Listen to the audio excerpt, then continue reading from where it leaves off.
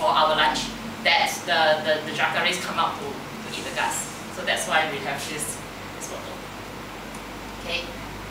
Um, so yeah, so we were like swimming and doing all sorts of things on the river, so it's really nice. So anyway, like I said, this is a brief moment, so if you want more information, how to get there and all those things, you can to me later. So the second place I want to talk about is Bonito. So Bonito is about four or five hours um, south of Pantanal.